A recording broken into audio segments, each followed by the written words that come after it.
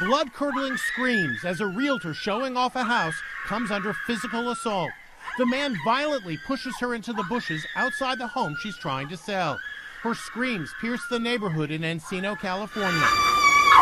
The realtor, who asked not to be identified, says she thought she was going to die. The attack left her with bruises and cuts.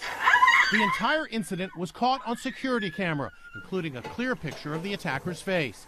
The woman says she actually saw the guy at a previous open house and was suspicious, so she moved their conversation to the porch. Realtors and real estate brokers run the real risk of getting attacked when they're showing houses, and it happens a lot more than many of us realize. Since 2003, more than 245 real estate agents have been slain while on the job.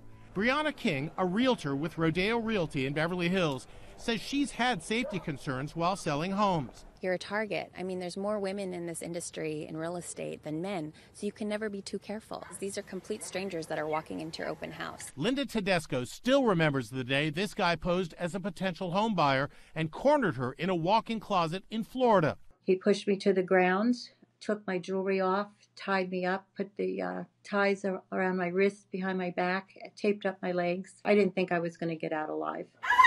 The Encino attack has so upset these real estate agents, they're getting a lesson in how to use pepper spray and stun guns to fend off bad guys. Back off! Stop following me. It is crucial that they learn self-defense, get into a class, and to have a tool with you. Because if you have something that you can use to defend yourself if it goes down, or use as a deterrent to let them know you're not a soft target, you're not an easy target, right?